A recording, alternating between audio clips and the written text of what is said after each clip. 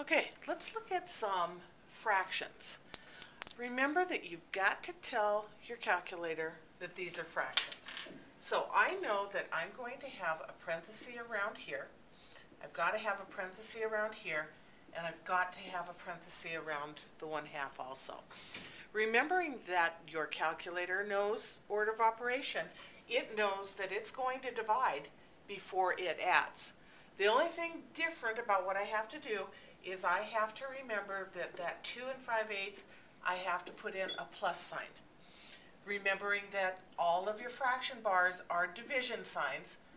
So when I punch this in, I punch it in exactly as it is. I'm going to put in parenthesis, 2 plus 5 divided by 8, end parent, plus beginning parent, 3 divided by 4, end parent, divided by. Now notice on your calculator when you put the divided by in, it uses a slash, um, which is the universal division sign. Then parenthesis, 1 divided by 2, and parenthesis. Everybody hit pause at this point and go ahead and see if you will get the correct answer. So when you did it, you got 4.125. Okay, now you remember that the general rule is that if you start in fractions, you need to end in fractions. So I've got a little more work that I have to do on this problem. What I have to do is I have to get rid of the whole number because this calculator wants to deal with the just the decimal part. I'm going to take just the decimal part and convert it to the fraction. To get rid of the 4, all I have to do is at this point is say subtract 4. Notice on your display it's going to say answer, meaning that it took the answer from the previous problem and it's going to subtract 4. Now on your display your answer should be 0.125. That's a nice decimal doesn't have a whole number in front of it. Now what I have to do is I have to change that to a fraction. In the right side of your, I'm sorry, your left side, you want to find a math key.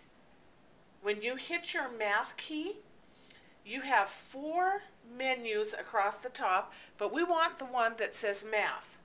The very first one says change that to a fraction.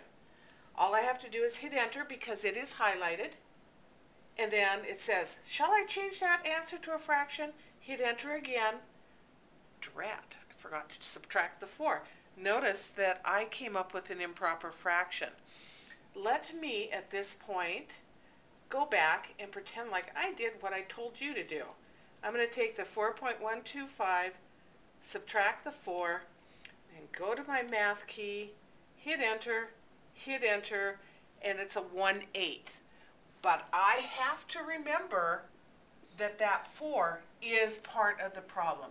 I have to remember that it does go there even though the calculator has separated them.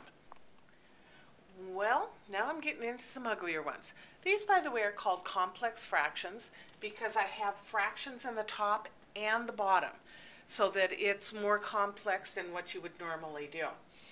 Okay, remembering that I must put my fractions inside parentheses means these are all going to be inside parentheses. But I have one more thing that I have to tell the calculator. I have to tell the calculator that this is the entire bottom number.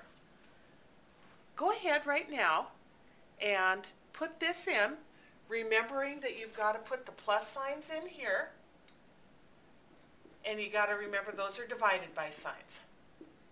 Go ahead and hit pause and hit play again once the answer, when you have the answer. Hopefully you got a 5 for the answer.